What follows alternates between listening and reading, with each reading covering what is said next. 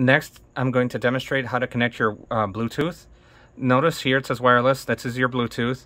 It's um, the light isn't turned on, so it's completely off. Press that. Notice it's flashing. That means it's on, but not connected. So here's my phone. Uh, turn on the Bluetooth. Now notice it connected uh, to P2 already. Uh, mine was already set up. What you need to look for is P2. That's your sound console.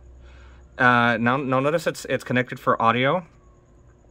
This is because uh, Bluetooth connectivity is meant primarily for um, music accompaniment, uh, for your live streaming or recording, whatever it is that you're doing. It won't be used as a microphone, only for music accompaniment or whatever other sounds you have.